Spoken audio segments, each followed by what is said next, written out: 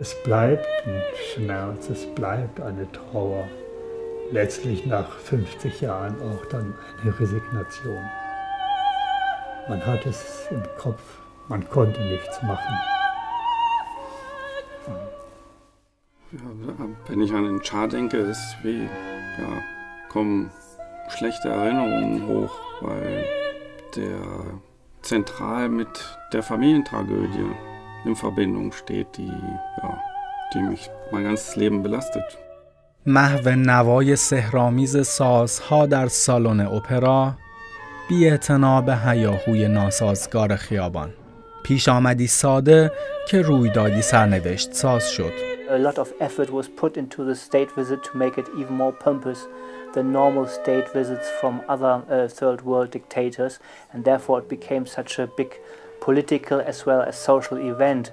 شاه برای تماشای داستانی پرسوز به داخل اپرا می رفت. قافلان که در این درام غمانگیز قربانی اصلی نه در پس پرده بلکه در خیابان خفته بود. Den Namen Schal zu hören und äh, nicht an Benno zu denken, das geht nicht. Das, das gehört, äh, das gehört tragischerweise zusammen. وقتی که به شاه اطلاع میدن که یک نفر تز... تظاهر کنندگان کشته شده گویا شاه میگه فقط یک نفر und er hat, hat das gesehen und hat wie wahnsinnig an die Scheibe geklopft damit die Polizisten merken sie werden beobachtet Neil Acheson hat das berichtet ماجرای دیدار شاه از برلین و سوگ قربانیان نمایشی تلخ. So, das ist keine schöne Erinnerung. Das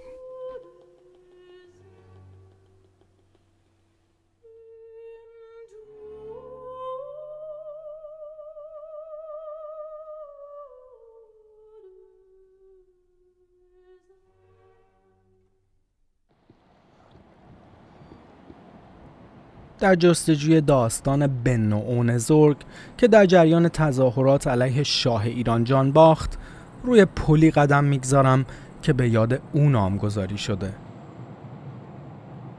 پلی بدون هیچ نام و نشان تنها یادگار بنو در این شهر لوکاس فرزندی است که هیچگاه پدرش رو ندید.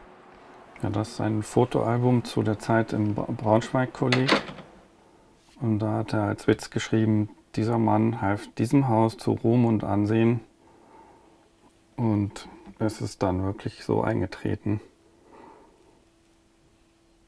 Nur nicht so witzig, wie er gedacht hatte. Ja, auch wenn ich nicht dabei war oder meinen Vater nicht kannte, obwohl ich wahrscheinlich äh, im Bauch meiner Mutter sogar den Schuss gehört habe, hat die, diese Tragödie natürlich mein ganzes Leben schwer beeinträchtigt, kann man gar nicht anders sagen.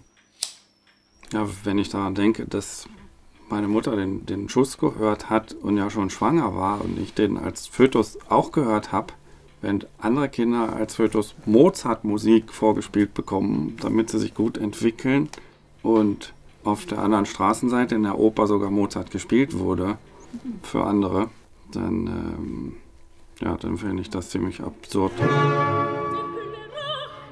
برای میزبانی از شاه آلمان غربی تدارکات وسیعی دیده بود. شاه به علت روابط نزدیک با آلمان شرقی تمایلی به دیدار از برلین غربی نداشت. این سفر نه ایستگاه داشت که در هر یک دانشجویان معترض به استقبال شاه رفتند. در آخرین ایستگاه شاه به تماشای اپرای فلوت سهرامیز موتزارت دعوت شده بود. Also am 2.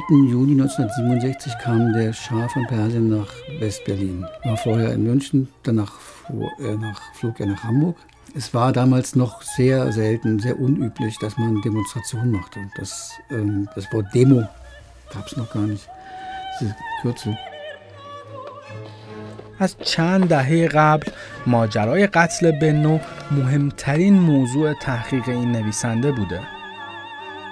او و زوکوب بارها با انتشار اسراری تازه از این حادثه زمین ساز رسیدگی مجدد به پرونده دانشجویان قربانی در آلمان بوده. Ja, nach dem Abitur äh, sind wir natürlich alle in unsere verschiedenen Fachrichtungen an den verschiedenen Universitäten gegangen und äh, hatten uns weitgehend aus den Augen verloren. Da ergab sich, dass ich den Benno und die Christa äh, eines Tages in der Cafeteria gesehen habe. Da haben wir uns natürlich sehr freundlich begrüßt. Da sagte äh, Benno, ja, wir suchen erstmal eine Wohnung. Christa und ich, wir brauchen eine Wohnung. Und da konnte ich spontan sagen, ja, die kannst du bei mir kriegen.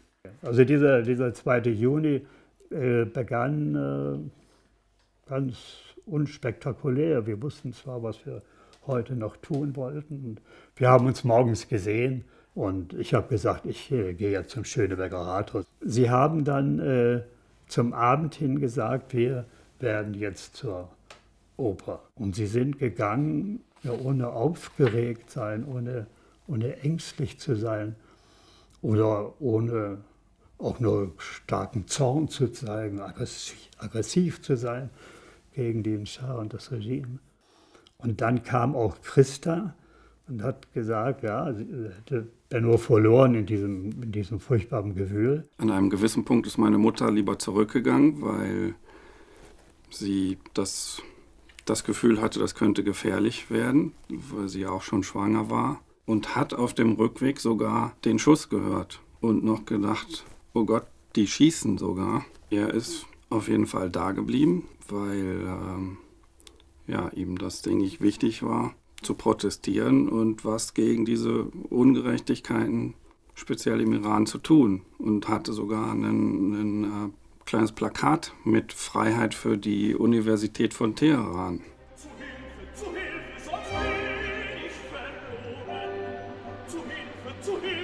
Wir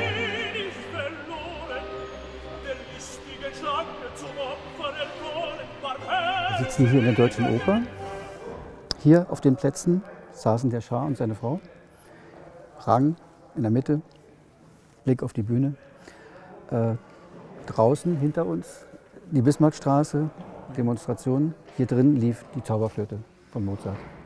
Es gab den ganzen Tag in Berlin schon Demonstrationen gegen den Schahbesuch. Vor, vor Schloss Charlottenburg, vor dem Rathaus Schöneberg vor allem.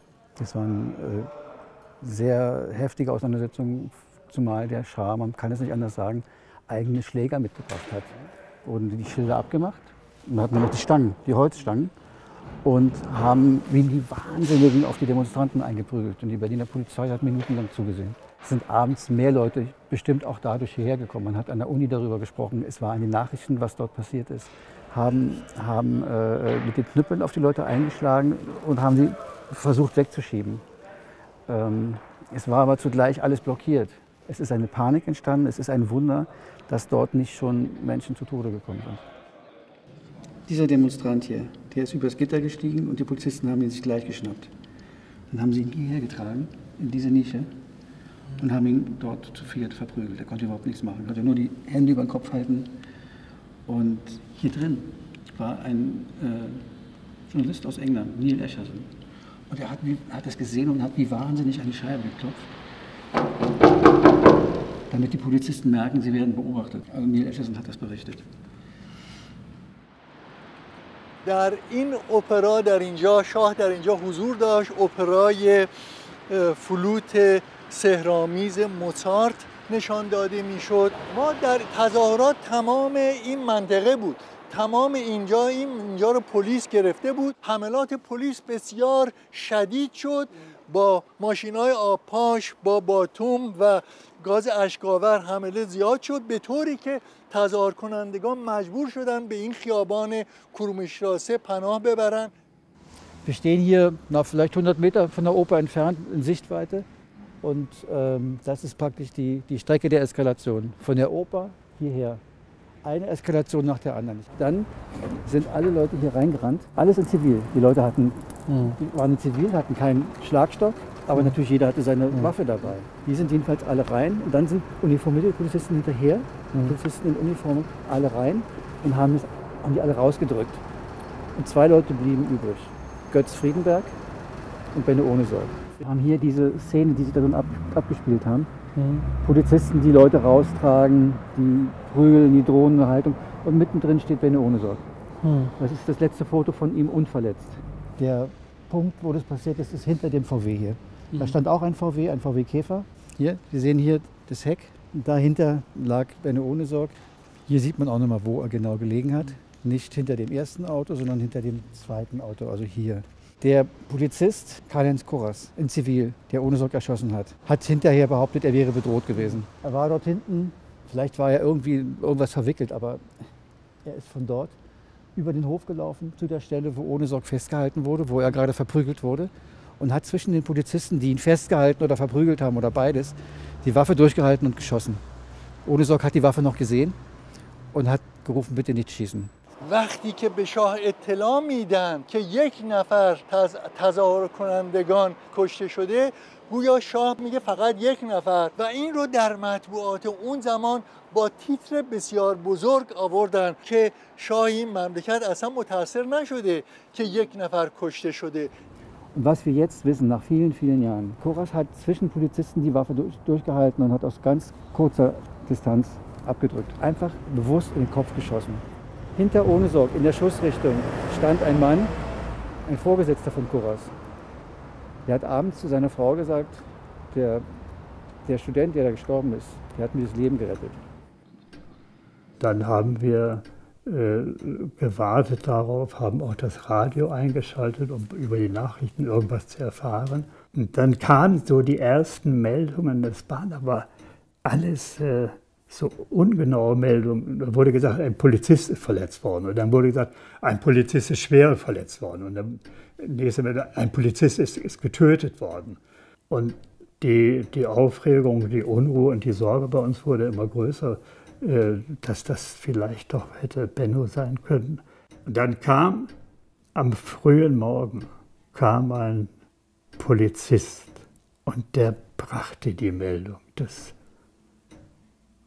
Benno schwer verletzt, angeschossen, schwer verletzt, ins Krankenhaus gekommen ist. Und die Todesnachricht spätestens da war klar. Es war auch in der Nacht, äh, es kam irgendwann eine Nachricht, äh, die auch äh, Christa also völlig die Fassung geraubt hat, weil da diese Todesmeldung gekommen ist. Sie lief schreiend in der Wohnung auf und ab, konnte sich überhaupt nicht mehr fassen, wollte sich aus dem Fenster stürzen. Sie war überhaupt nicht zu beruhigen.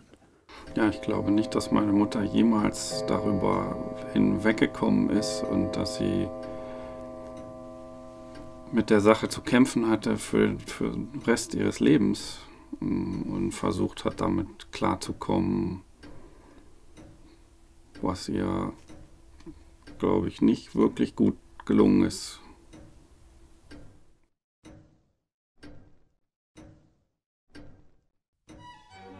از چند ماه پیش از آمدن شاه به برلین کنفدراسیون دانشجویان ایرانی در حال تدارک برای اعتراض بود نه تنها از طریق تظاهرات بلکه با برپای سخنرانی و انتشار کتاب و مقاله به زبان آلمانی قتل بن زرگ نقطه عطفی در جنبش دانشجویی آلمان بود این جنبش به طور غیر منتظره رادیکال شد رودی دوچکه مهمترین چهره این جنبش خواستار پیوستن به جنبش های رهایی بخش در کشورهای جهان سوم بود.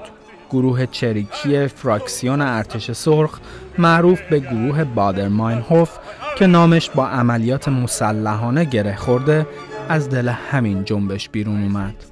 The events of the 2nd of June 1967 in West Berlin were the point where the student movement actually spread from West Berlin to all the other West German universities and where a lot of people became active and radicalized. The Iranian students were by far the largest group of foreign students in West Germany. Um, so they were a very active and well organized opposition force to the Shah regime back home. And since the early 1960s, this uh, uh, Iranian Student uh, Association had tried to forge contacts with German student unions, mostly from the left wing, like the Socialist German Students Federation.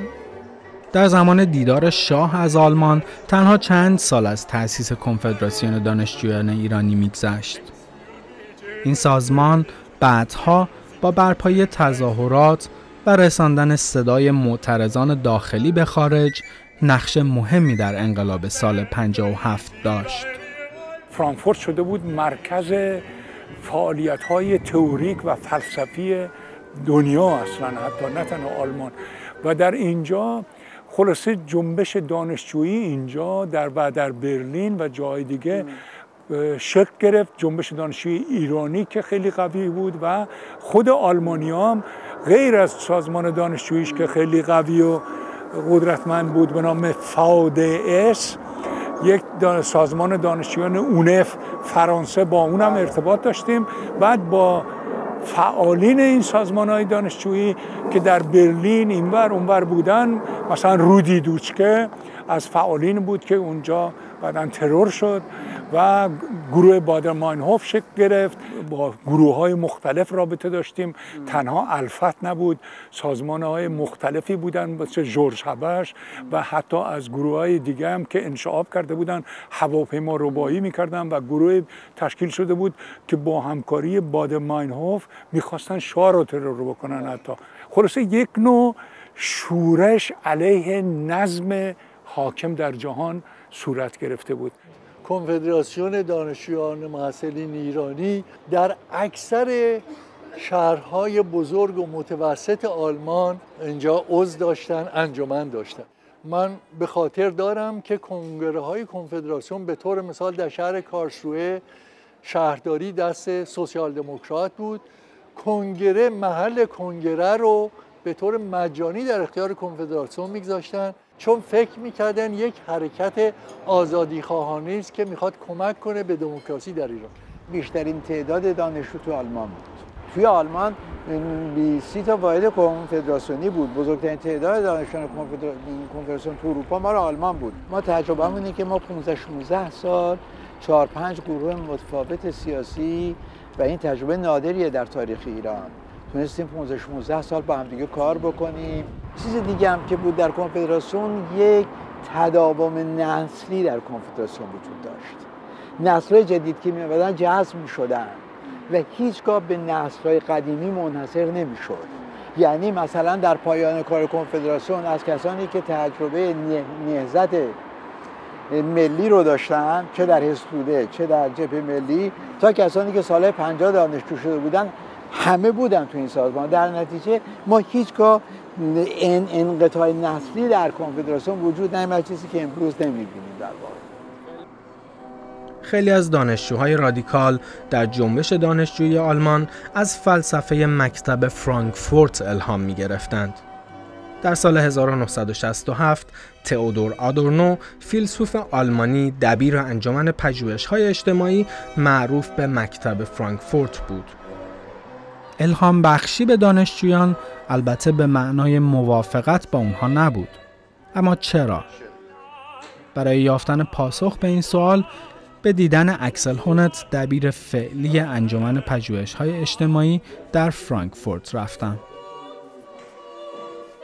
There were inner debates in the institute. Uh, as you know, Adorno was director at that time. And uh, because a lot of their own students were very much involved in the student movement, and these students also brought the topics of the student movement into the seminar room, they had to deal with it all the time. The specific disagreement started when uh, the question came up uh, what kind of violence should be allowed to be mm. used in the classroom and on the streets. And uh, I think the outburst of these conflicts happened when the students tried to enter not this institute, they, they had another building not far away from here, which they entered and tried to keep. Mm-hmm. And then, and nobody is able up until now to tell who, somebody called the police. One of these three directors called the Adorno police. is accused of it. I know, but also Habermas and also Friedeburg. So there, there are thousands of discussions. and um, when I spoke with Friedeburg, I think he said something like it was Adorno. Anyway, Adorno definitely was the one most frightened of certain forms of violence. Yeah, there were certain attacks on the professors. Also on Adorno, you remember this famous story, two women showing their breasts naked. They came close to Adorno, who was shocked by that, and definitely deeply humiliated. I think he saw it with a certain sympathy, but a deep mistrust, especially as soon as certain forms of violence came up. I mean, he was so frightened that this could go in the wrong direction. Yeah, he was still, let's say, in the aftershock of the Holocaust.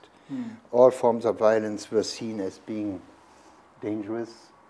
So, in that sense, I think, and you see it in his face when you see certain photos of the time, uh, his main attitude was anxiety.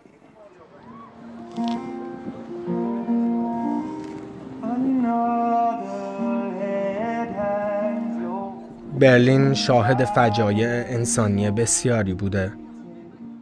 از جنگ و نسل کشی گرفته تا ساختن دیوار در دوران جنگ سرد. این تاریخ تلخ برلین رو به کانون شورش و اعتراضات دانشجویی تبدیل کرده. از دانشجویان ایرانی گرفته تا به نوع جوانی که از طریق اونها ایران رو می شناخت.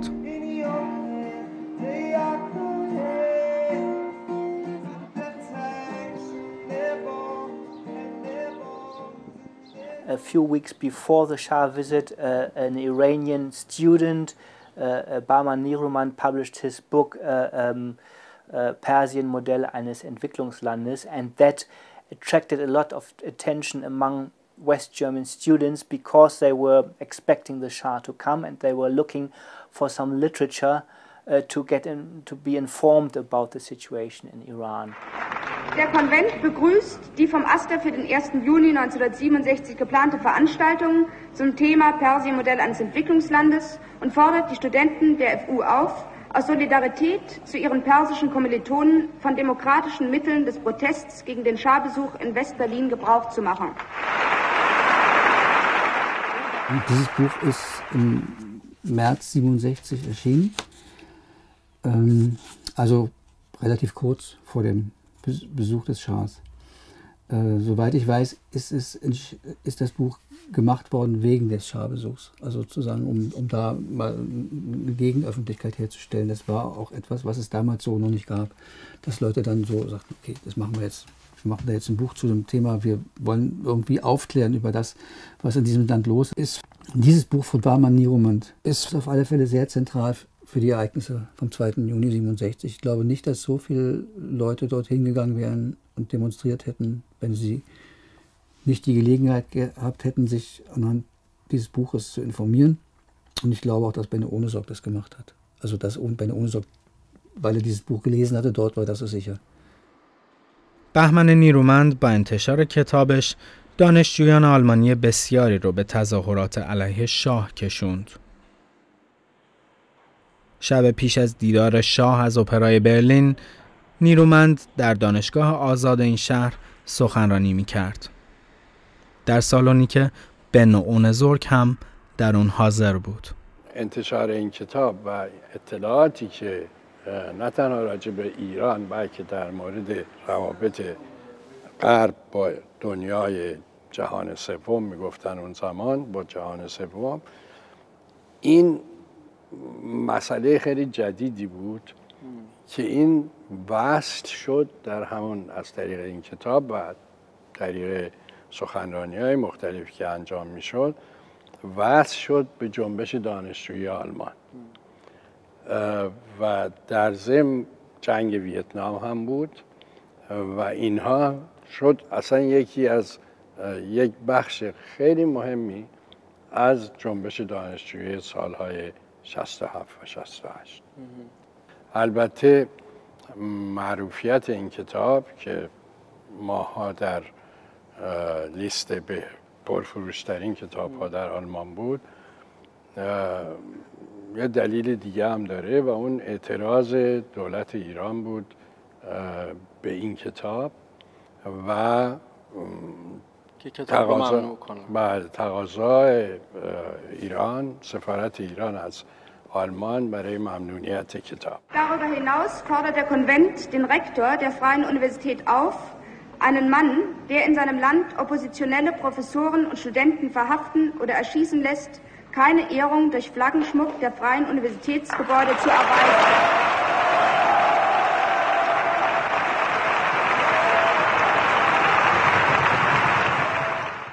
آقای اونزاگ به دانشجو خیلی معمولی بود اینطوری که خانمش تعریف میکرد و اطرافیانش بعدا تعریف کردن یه آدم انسان دوستی بود آدمی بود که برای مسائل انسانی حتی خودش رو انگاژه می‌کرد و این بود که بعد این کتاب خونده بود یادداشتهایی در کنار صفحات مختلف این کتاب نوشته بود.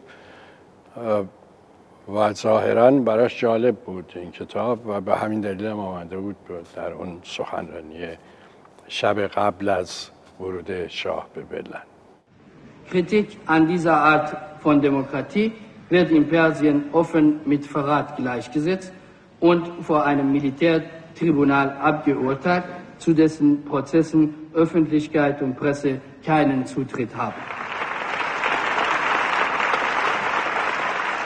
Wir wussten über die Diskussionsgruppen, über die äh, Vorträge, über das Buch von Newman. Er musste nichts propagieren. Und er musste natürlich auch nicht propagiert werden. Das, äh, das war diese, diese, ja, diese stille Übereinkunft. Also diese Wohnung, die wir zu dritt bewohnt hatten, äh, wurde nach diesem 2. Juni ein Treffpunkt äh, für Diskussionen über dieses Ereignis und natürlich auch die Frage, was machen wir mit diesem Ereignis? Wie müssen wir da auf den Staat reagieren? Letztlich äh, sich daraus ja auch ganz radikale Bewegungen entwickelt haben. Bewegung, also eine, die sich dann nach dem 2. Juni und der 2. Juni nannte, radikale Bewegung. Und da habe ich immer gedacht, nein, diese Bewegung hat mit Benno nun gar nichts mehr zu tun. Weil äh, das würde seinem, seinem humanistischen Geist, seinem Menschenverständnis so äh, widersprochen haben, dass er sich dagegen ja, empört hätte.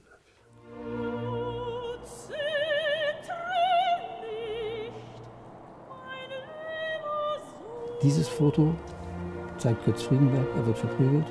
Im Hintergrund ist irgendwas, da sind ein paar Füße, das hat niemand interessiert. Und wenn man sich dieses Foto genau anguckt, sieht man da einen Fuß in, in so einem Latschen, wie ohne Sock ihn anhatte. Wir sehen das hier auf dem Foto ganz deutlich. Das sind solche Schuhe, die haben nur so zwei Riemen hinten und einen vorne. Und das ist der gleiche Schuh. Und äh, das heißt, es ist das, was wir sowieso auch in anderer Hinsicht inzwischen wissen, ohne Sorg war umringt von Polizisten. Dann ist der Schuss gefallen in dieser Gruppe. Sie haben alle gesehen, dass Koras gekommen ist, seine Waffe hingehalten und, ab, und abgedrückt hat. Ja, später habe ich erfahren, dass ähm, der Krankenwagen, der ihn ins Krankenhaus bringen sollte mit der Schussverletzung, so lange rumgefahren ist und an zwei Krankenhäusern, die, die am nächsten lagen, abgewiesen wurde und erst beim dritten Krankenhaus äh, aufgenommen wurde, sodass die ganze Fahrt sich 45 Minuten hingezogen hat und er wahrscheinlich da schon also tot oder nicht mehr zu retten war. Und ähm, als ich das gehört habe, war ich sehr geschockt. Der Arzt im Krankenhaus, der den Tod Benny Ohnesorgs auf dem Leichenschein festgestellt hat, das heißt Humayun Tatjadot. Sein Vater äh, war Mustafa Tatjadot, ähm, ein, ein, enger ähm, Begleiter des Schahs und Finanzminister. Ähm, ich habe diesen Arzt später getroffen und ich hatte immer das Gefühl, dass er mir nicht die ganze Wahrheit sagt. Aber er hat mir immer gesagt, dass er die Leiche gar nicht mehr gesehen hat. Also er hat wohl Benne Ohnesorg vorher gesehen. Er hat zu mir auch gesagt, man sieht es nicht, wenn jemand einen Einschuss hat. Das kann ich mir nicht vorstellen, dass man einen Schuss nicht von einer Schlagwunde unterscheiden kann. Und ähm, das war dann ähm, eigentlich alles, was ich aus dem Mann herausbekommen konnte. Der Beifahrer vom Krankenwagen hat mir auch erzählt, dass er das Gefühl hatte, sie sollten in das Moabiter Krankenhaus fahren. Äh, ich glaube, sie waren irgendwie begleitet von der Polizei. Das ist schon auffällig, dass genau in diesem Krankenhaus, wo Onesok eingeliefert wurde, war es nicht nur ein iranischer Arzt im Dienst, sondern dort lagerten die Blutreserven für den Fall, dass ein Attentat auf den Schah verübt wird oder wenn er einen Unfall gehabt hätte. Wir haben die Tatsache, dass die Blutkonserven für den Schah dort lagerten, erst vor wenigen Jahren äh, von einer Krankenschwester gehört, die damals im Dienst war. Die sagte zu uns, wir haben auf den Schah gewartet und dann kam ohne Sorg. Also den Namen Schah zu hören und äh, nicht an Benno zu denken, das geht nicht. Das, das gehört, äh, das gehört tragischerweise zusammen. Hm. Es ist ja äh, auch immer noch eine äh, so ungeklärte Sache, warum hat der Kuras das getan, den Benno erschossen. Warum? Dieses äh, mit dem Schal und die Assoziation mit Benno, wie, wie plötzlich ein Weltgeschehen, das so plötzlich so ins eigene Leben drängt, dass man dann einen so geschätzten Freund, der noch so viel gemacht hätte, an literarischen oder an künstlerischen, dass der noch so viel hätte machen können und nichts mehr machen konnte, dass wir also nicht mehr erleben, äh, was hätte er gemacht. So, das, ja, ich finde das schon unglaublich eigentlich, dass sich der deutsche Staat oder auch Iran natürlich auch nicht jemals bei mir entschuldigt hat oder auf mich zugekommen ist oder ja, irgendwelche Schritte unternommen hat, die, die fällig wären oder die das wieder gut machen würden. So keine Entschuldigung, keine Entschädigung, keine Wiederaufarbeitung.